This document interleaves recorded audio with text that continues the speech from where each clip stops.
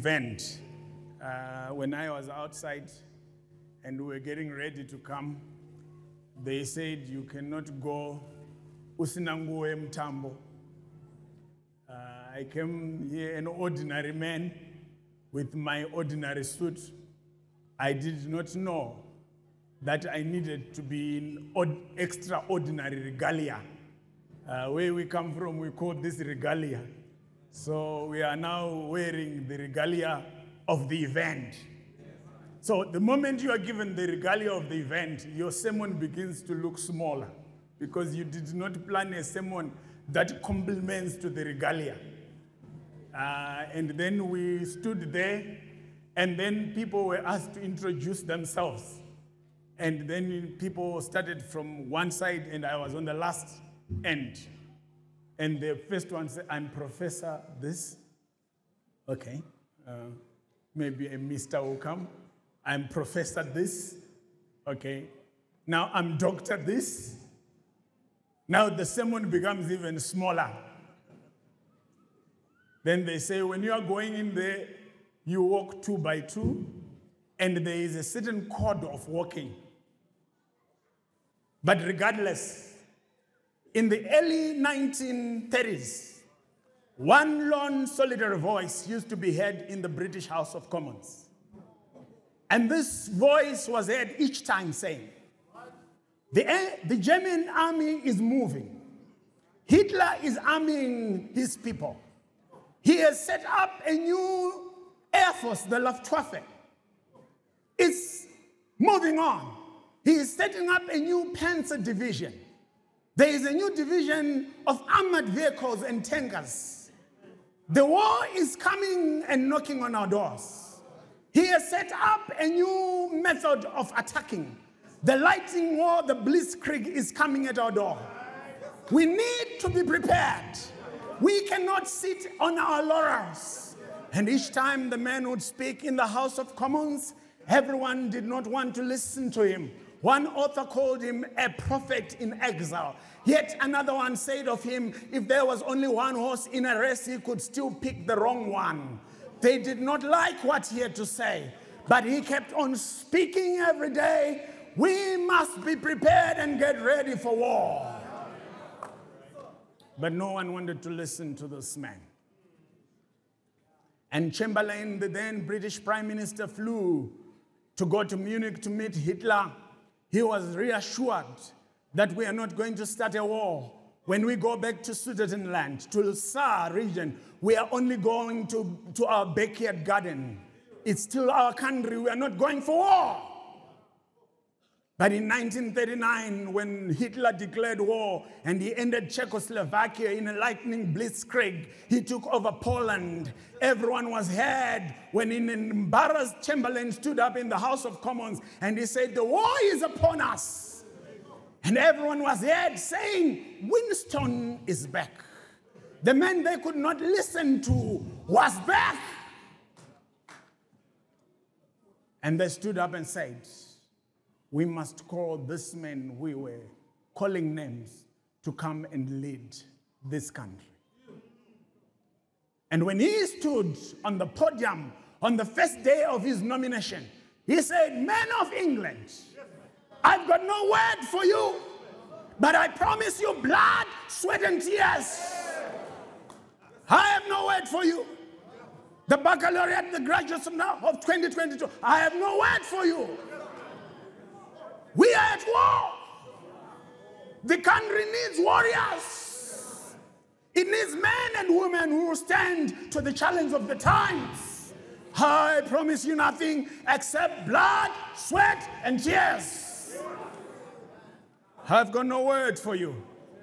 In case you thought I was going to give you a word, in case you thought I was going to tell you it's going to be fine. In case you thought I was going to tell you you are going to walk in the lush streets of Harare and it's going to be good. In case I promise you bread and butter. But I promise you blood, sweat, and tears. We are going to consider the God of Luke chapter 8. The message has been read already. And I'm going I'm not going to to burden you with reading the message again. Because in your hearing, it has been read. And I sit on the feet of the Gamaliels of this place, the professors of theology. I will not burden you with theology. I'll burden you with the issues of life. Because I have come to speak about life. And that's what I'm going to focus on. Jesus speaks to them a parable. And when he had finished the parable, verse 10 says, He that hath ears to hear, let him hear. And he said, Unto you it is, and he said to them, Unto you it is given to know the mysteries of the kingdom of God. Jesus is speaking about planting, about sowing seeds, and he calls it a mystery.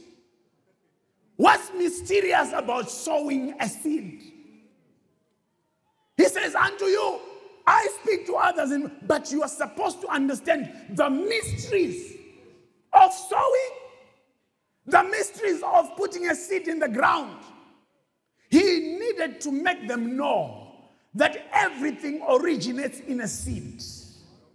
That when God created the word, the, the world, he set it in motion by a seed. So that thereafter it propagates itself without him. So that thereafter the energy that he has put in the seed produces on its own without him giving it the energy again. So, whatever you are going to do in your life, the energy that has been given inside you, it's enough to produce if you know that you have been set. It's a mystery. It's a mystery. Maybe let me define what a seed is. I'll start a definition. You, you, you, you are, are learned people. And learned people always started introductions either by definitions or by an implied introduction which reflected the definition. Either way, it was a definition. So let me start from botany. It's a mature fertilized plant ovule consisting of an embryo and its food store surrounded by a protective coat. So a seed is a mature ovule, right? That has got its own food inside it. Huh? And then it is covered by a coat. So inside a seed, it is already an armored vehicle with a capacity to regenerate itself and with a capacity to feed itself when it wants to regenerate. So when you put a seed in the ground, it does not start by benefiting from the ground. It starts by benefiting from itself. And then it produces in the ground. Come on, church. That's a seed. And that is a noun. A seed is also a semen. Semen is a seed. You could call it a sperm. It's a seed. It gives life. That's why you are here.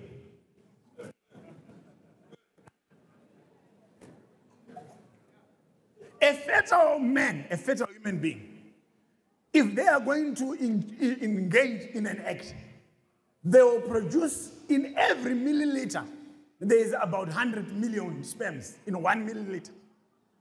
And they produce between two to five milliliters a fertile man. That means fertile men will have 200 to 500 million possibilities. Where you are seated, you are one out of a possible 500 million. Possibles. The act might be a mistake, but the results can never be a mistake. How can the possibility of one out of 500 million become a mistake? Even if they are born uh, crippled, you can't make a mistake of picking one out of 200 million. For you, even you put it in terms of probability, one over 200 million, it's as if it's a zero probability that you can pick the correct one. So that's a seed. You are the product of a seed. For the sperm to fertilize, they must outswim each other. 200 million swimmers towards one egg, 200. At one moment in your life, I don't know whether you can swim now. At one moment in your life, you were a great swimmer.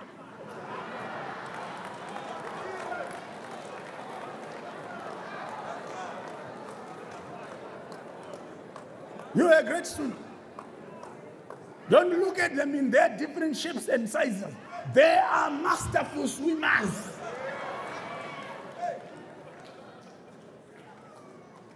That's a seed. A seed is also a source or an origin. We can say we are looking for the seed of the revolt. That, that there was a revolt, there was a rebellion, but we must look for a seed. It's still a noun, it's a seed. So, what we are getting is a seed has got a tangible side of it, and there is an intangible side of it. You can actually touch a, a seed and see it, and it is still a seed. And you may also call it a seed even without touching or seeing it. So that there will be a seed without necessarily having to touch it. Are you with me? Follow me closely. A seed is also an item that you can bless in a certain place to crystallize things around itself. So you can take a plane into the air and throw and spread iodine, and then the iodine become the condensation nuclei. And all the water droplets starts going around that specific particle until you say you have cloud seeded to produce rain. A seed can produce rain. To seed to produce, to seed to generate, to seed to have, to seed to cause, to progeny. So a seed also becomes the, the descendant of. That's why you can say the seed of Abraham. So you can become a seed of. So that where I sit, I'm a seed of the moyos. Therefore, when you see, you see a moyo based on the one that has put the seed in that moyo. You are a product. I'm talking about a seed. So when Christ was speaking about the seed, he, when he said there are mysteries, he had not spoken about what I'm speaking now because he knew it. He, he limited himself to the horizons of their mental uh, capacity. I'm supposing that Solusi has stretched you enough to go to the next level.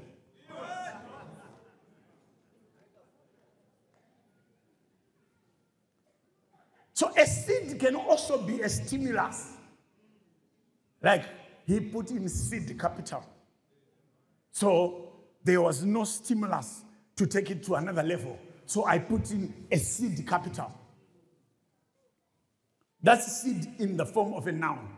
Let me take seed as a verb. A seed as a verb, you can then say, I seeded this field with oats. So the act of putting the seed in the ground is also seeding. It is in itself a seed. Are you following? The act of influencing thought processes is also a definition of a seed in action. So if I influence you to do things that you would not have otherwise done in the same situation, I have planted a seed in you that diverted you from your act to act then on the basis of the seed that I've planted. So you then become a product of my seeding. Are you with me, someone? Uh, let me take seed as an adjective. So, an, an adjective is a word that describes a noun. So that a noun becomes qualified because of the adjective. So, if I say there is a seedless lemon, I have explained the state of the lemon by saying it's seedless, but that is also a definition of a seed. So you can actually look at a young man and say, This young man is, is, is handsome, but he is seedless. It's referring to his brain. Good young man, I might love you, handsome is there, but in terms of seed, you are seedless. So we have a lot of seedless lemons uh, looking at me. After years of putting seed, we take them out and look. Lo and behold, they are seedless. How do I say that? They go in the streets of Harare complaining about the leader. The leader does not change anyone. Anything that needs to be changed is changed by you. There are men who are shouting, if Mugabe goes, I'm going to succeed. They are still in the same place. They were arguing with me. If I go to England, I'm going to succeed. A stupid in England is a stupid in Zimbabwe. A place won't change nothing. Place won't change nothing. Don't come to me and say things are hard. Where were they not hard? In 1930, there was Great Depression. Where were they not hard? During the War of Liberation, things were not well. Where were they not hard? In the 1980s, you owned nothing, you worked for the white people. Where were things not hard? They are hard any day, anytime. The issue is you are seedless. They're always hard. It's not going to be easy. Because if it's easy, everyone can do it. It is the bottom that is overcrowded. The top there, there's a lot of fresh air to breathe.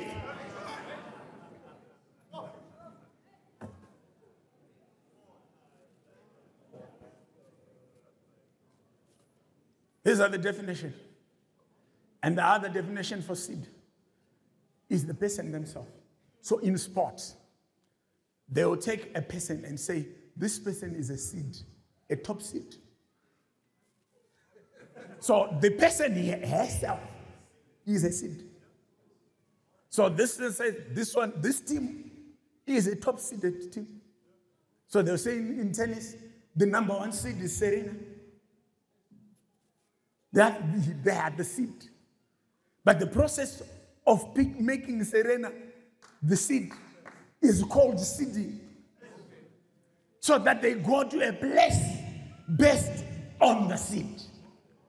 Uh, follow me closely. Follow me closely. Let's make haste slowly. Follow me closely. What is common in the definition of a seed that we got? What is common is that when they seed, there is always growth. You can never put seed in someone's stomach and it does not grow. The moment they seed, someone will phone you, I missed my period. Eh, whether, whether you are going to be happy or not depends on the circumstances. But there is going to be growth. There's going to be growth. So you, you might delay informing us, but we don't worry about being informed. We wait for growth. That, that's common. So when they see the displacement, the seed displaces, you feel the presence of, you can't not not feel the seed. It causes itself to be felt. You can't go into the world and pass by as a full stop. No, no, no, no. A seed is felt. They'll feel you. That is around. You can't go in the world and pass by as a byword. That by the way, known only for jokes and jesting, no contribution. Sweet, empty, good for nothing. Allow me to be rough this morning. These podiums are rare. I might never get another chance.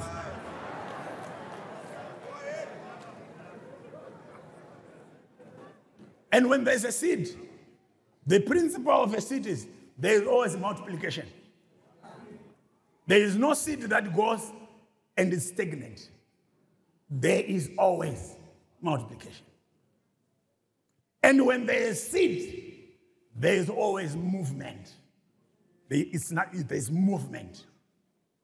But when we speak about a seed, it's as if the parable was about a seed. Yes. Yet the parable was never about a seed. It's as if you are saying the parable had a problem with the seed. There was no problem with the seed. It's as if Luke wanted to bring attention to the seed. No, it was never about the seed. Forget the seed. The issue was the ground. It was never about the seed. We have had trouble thinking that we have a wrong seed. Yet we have got troubled ground. All these years, we were thinking we needed better preachers to bring better seeds. All these years, we're thinking at Solusi we need better lecturers from NUST.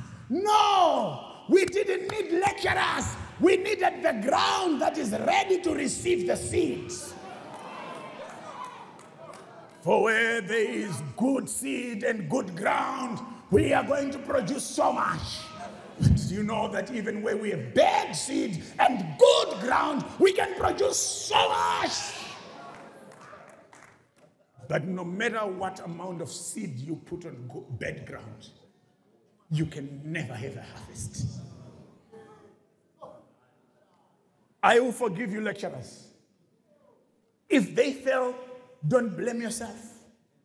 It's never the problem of the seed, it is in the ground. Don't blame yourself. Don't blame yourself.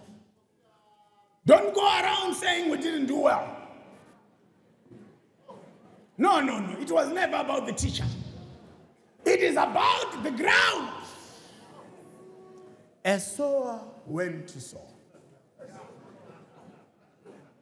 And when he was sowing, some fell on good ground, some fell on the wayside, some fell on the thorny ground, and some fell on the rocky ground. The sower did not mind where the seed fell. He continued sowing. His business was just to sow. And he was not going to retrieve any seed that has fallen on wrong ground. That was not his business. He knew, he knew.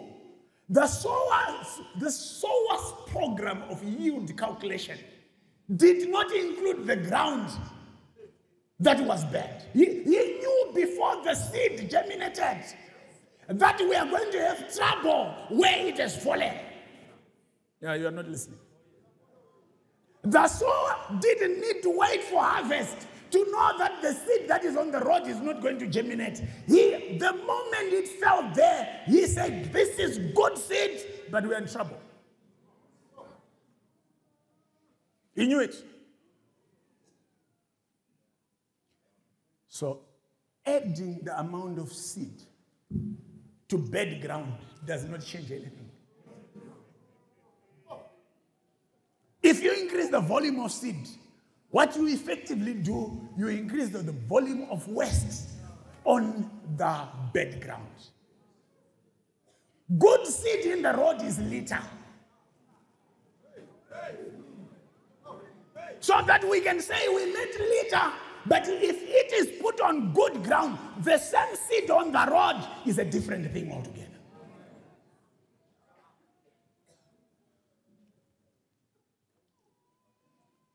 But the sower did it so that no seeds would say we, we were never given a chance. All ground will say we had an equal chance. I, I like war because the Bible is a book of war. From Genesis to Revelation, it's all about war. You, you, can't, you can't escape. The Bible is a war book. To me, when I read the Bible, I'm just from heaven to earth. It's all about Jambanja. It's a book of serious wars. So one of the uh, the Gestapo members who, who went on the Nuremberg War trials was asked, so you, you were working with Hitler and killing all those Jews. Why were you doing it? Then he said, I had an opportunity to know Hitler for who he was. I cannot plead innocent. I knew what he was doing and what we, and I reconciled myself to the facts. Then they say to him, We are going to judge you not only by what you had an opportunity to know, but what you had an opportunity to know, but you willfully decided not to know. You would have known this, but in your brain of brains, you said, I don't want to know.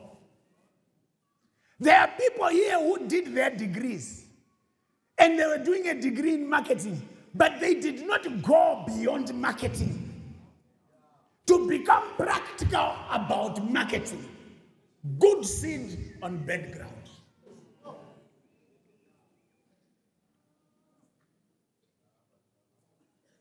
Good seed on bad ground. Now it's a disaster. If it's then bad seed on bad ground.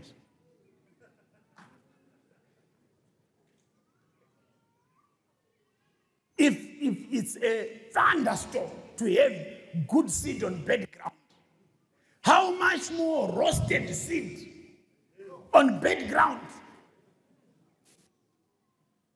We are in trouble. And Christ was speaking to them and saying, I have a problem. When I have finished this message, I can't change you.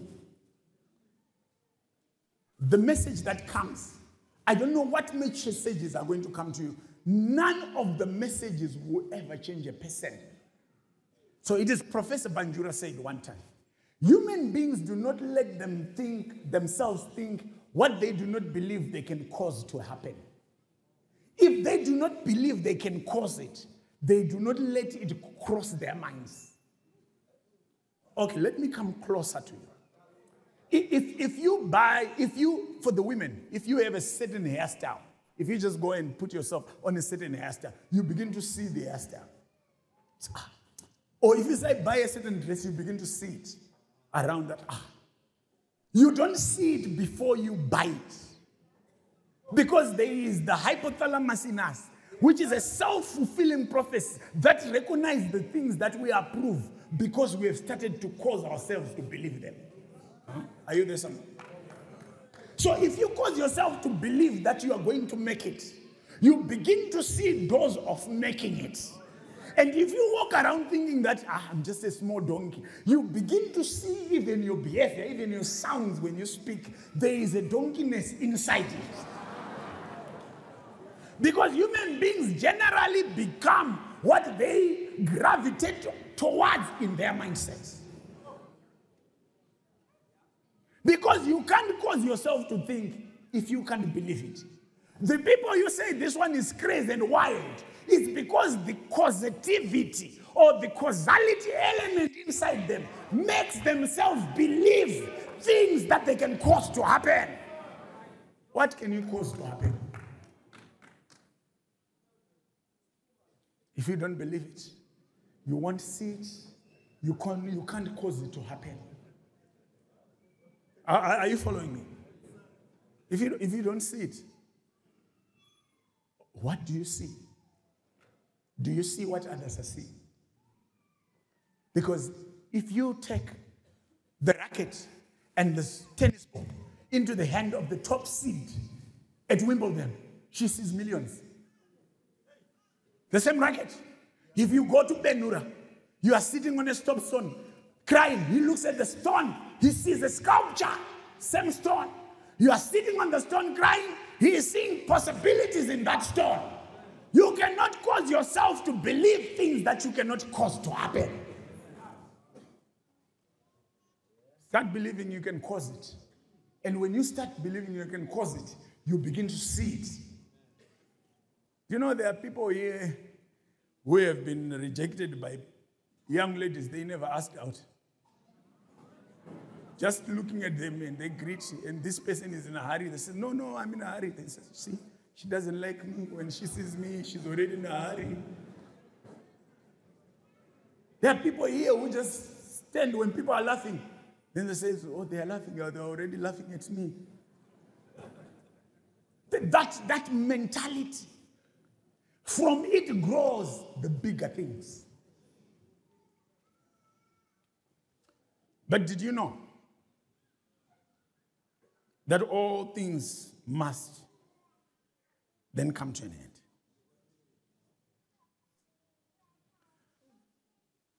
I wonder at the seed that is grown on good ground because it produces because of the ground.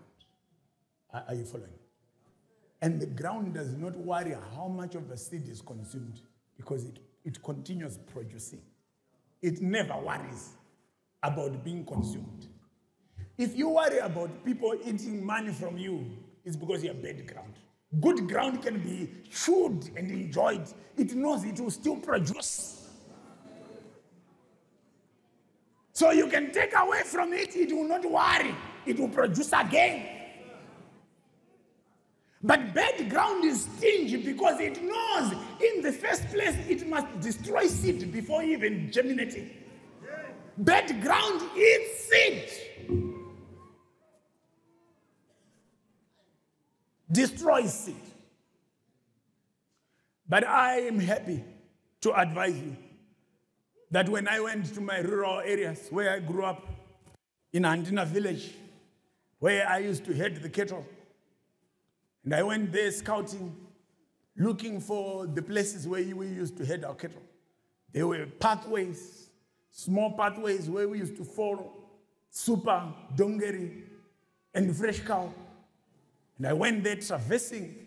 I was looking for the former pastures, and I looked for the bushes where we used to have the bulky trees where we used to sleep under, and the rock outcrops where we used to sit looking for them. I couldn't find them.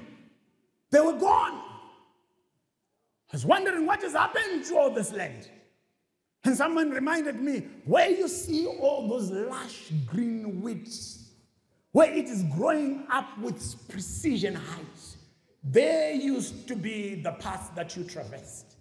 In the same place where you are seeing that, there used to be rock outcrops. In the same place where you are looking, there used to be the big trees.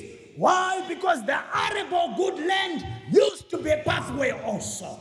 The arable good land used to have rocky outcrops and thorns also. But they spend time digging and uprooting everyone because the bad ground can become good ground.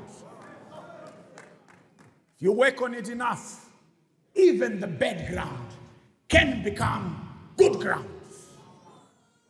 If you're going to spend time taking the bulldozer to that place, and it comes and takes off the trees, trees. If you are going to send a drill rig and it puts all the dynamites and blasts the rock, the good ground is gone, bad ground is going to become good ground.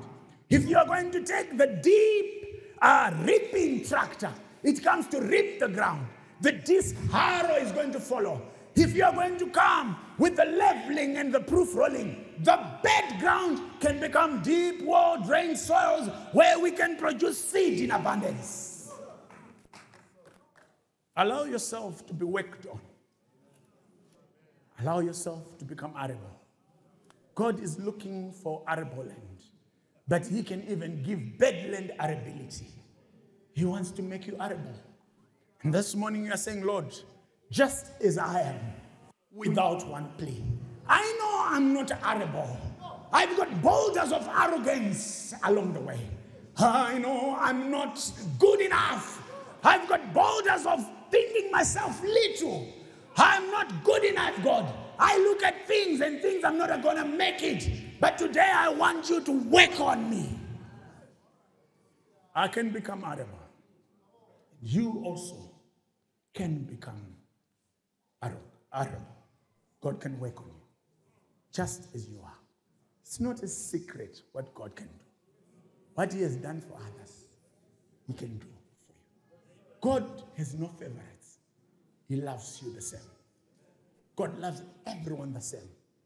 So if I come to you and say, you are a great man, I know you're a billionaire, what, what, and tell you all those things, and there are few of them, right?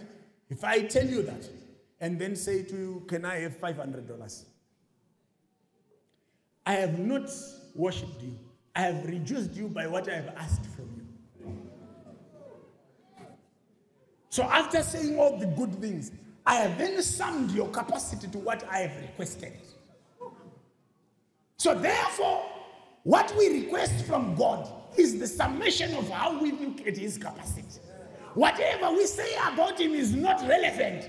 It is what we then tell him in terms of request that demonstrates whether we know who he is or who he is. We worship God by the enormity of our prayer request. So don't worry about telling him he's big. When you ask, he knows that you have said he is big. After asking, you say, okay, I know this one knows I'm big. So once you tell him, Domborem Sara Sara, makatangira kupi hey, jerusalem rakazodai does it, he knows all about those lions so what who's lion there are many lions but when you ask you know that i'm the different lion he wants to work on you i submit to be worked on because if i fail in my life it's got nothing to do with god God is not involved. When you go into the world and it does not work, don't talk about God. He has already sowed the seed. Say, God, work on this ground until we produce. Until we produce. And you're saying, God, work on me. I can't be ordinary. In my prayer last time, I said, God, I was created in Zimbabwe. You put me in Zimbabwe. Then someone in China comes to employ me in Zimbabwe. Ah! You put me in Zimbabwe. You are aware I'll be in Zimbabwe. You put the resources in Zimbabwe. Someone comes from China and I start complaining there are no jobs. For someone to come to create it from China using things that are in Zimbabwe. So, what does God? He puts everything in the ground. The issue is the land, it's the ground. If you don't spend time analyzing the ground, you are in trouble. It's in the ground. I repeat to you, it is in the ground. I went to Chiadzwa the other year, and I found women who were suffering, and they had clay pots. The clay pots were decorated with glitter stones. And there were some people were coming with sugar and saying, remove the glitter stones from your clay pots and we give you sugar. The glitter stones were diamonds. My people suffer because of lack of knowledge. The, everything is in the ground. If you suffer, it's got nothing to do with God. He's not involved. He's also wondering what is happening with these people. He's wondering. Because it's all about the ground. Take Joseph, put him in a well. He is going to excel. The issue is always the ground inside Joseph. Take Joseph, make him a slave. He will excel. The ground. Take Joseph, blame him for something that is not die. He, is, he has not done as a garden boy. He will become the administrators of garden boys. The ground. So Joseph, put him in a jail. He is going to become the captain of the jail. The ground. You see him in palace. Sell him and you see him in palace. It's as if you sold him for palace work. Sold for palace. Why? The ground. The ground. If you don't want to use your ground, we will employ you and use your ground. we will discover what your ground is made of and we will use you thoroughly.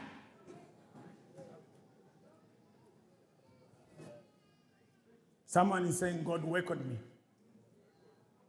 I, I can't be number two. No, work on me. Work on me. Work on me, God. We've got to go to work now.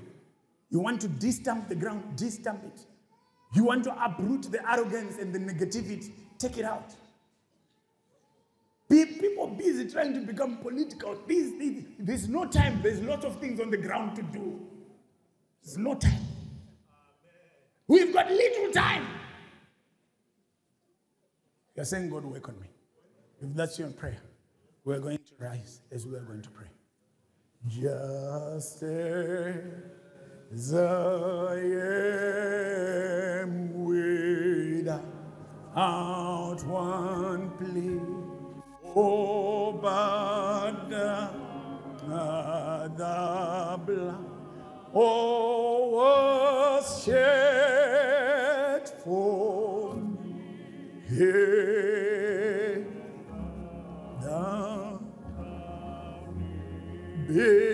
May come to the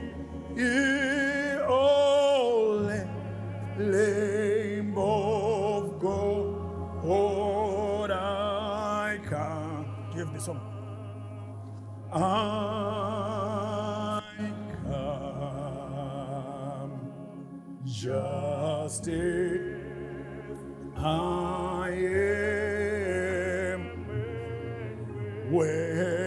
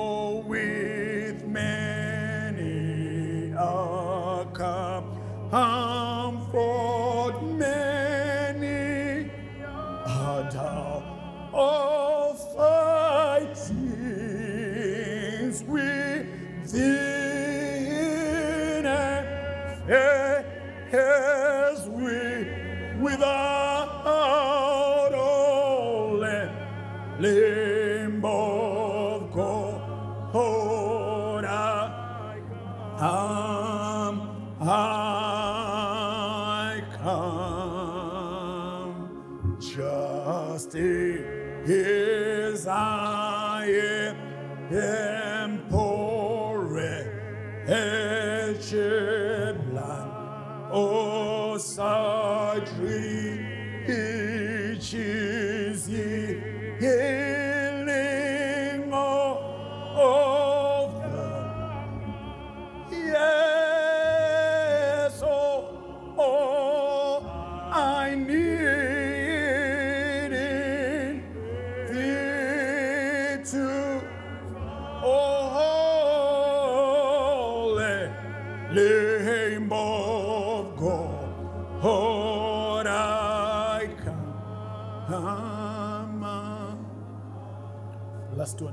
one,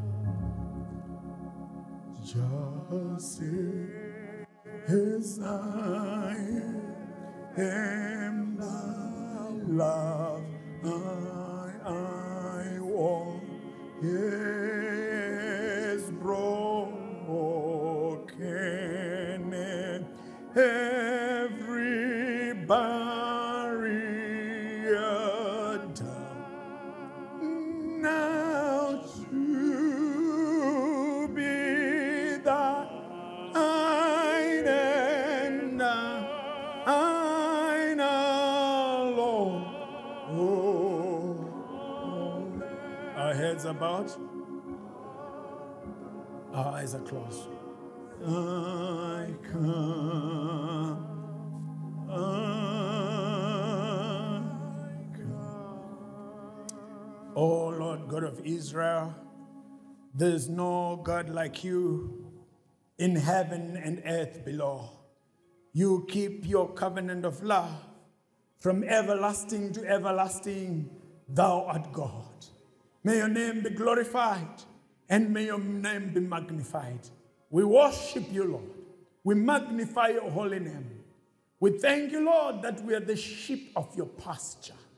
And you are going to shepherd us because you are the true shepherd, the vibrant, honest, loving, caring shepherd who is willing to lay down his life for his flock. Thank you, Jesus. Thank you for that one person who's revived, who was standing at the verge of perdition, but is saying, Lord, help me. I'm a sinner, just as I am. I've got no plea, but I know one thing your love has broken every barrier down. The barriers of guilt, the barriers of sin, you have broken down. Barrier. For the word says the weapons of our warfare are not carnal, mm. but they are mighty through God, bringing down strongholds, casting down imaginations, and bringing down every thought to the subjection of the Spirit of the living God. Thank you, Jesus. Thank you, my Father. Now, unto the people of God, may the Lord bless you and keep you. May the Lord lift up his countenance upon you and give you peace. May the blessing of the Lord follow you and overtake you. May you be blessed as you come in, blessed as you go out. May you claim the promise that says, No weapon fashioned against you shall prosper. For he has promised to us that though you walk through the valley of the shadow of death, you will not fear no evil. His rod and his staff will comfort you. He will prepare a table for you in the presence of your enemies. He will anoint your head with oil. Your cup will run over. Goodness and mercy to follow you all the days of your life, and you dwell in the house of the Lord forever and ever. Let the saints say, Amen.